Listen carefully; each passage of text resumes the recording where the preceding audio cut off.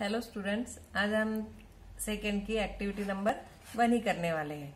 आपको करनी है, मैं खाली बता देने वाली हूँ कि क्या करना है। इन्होंने ये डॉटेड वहाँ से दिया हुआ है, वहाँ पे आप ब्लैक स्केच पेन से पहले ज्वाइन करके पूरा ऐसे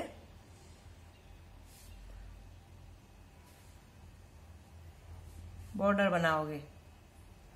जो ज्वाइन नहीं है, उसे ज्वाइन करके पूरा जो है है स्केचिंग आप पहले मतलब इसे स्केच पेन से ब्लैक स्केच पेन से ज्वाइन करके बॉर्डर बनाओगे। और इसे ऑयल पेस्टल से कलर करना है। आपके पास ऑयल पेस्टल है। आपको जैसे कलर करना है, जो कलर से कलर करना है, आप इसे मन से कर सकते हो। ये कलर करने के लिए आपको एक्टिविटी दी है। मैं इसे कलर करके नहीं दिखाऊँगी, आप इसे सिंपल है। आप अपने मन से देखो कैसे देना है, कौन से कलर देना है। आप ये एक्टिविटी बस कंप्लीट करोगे।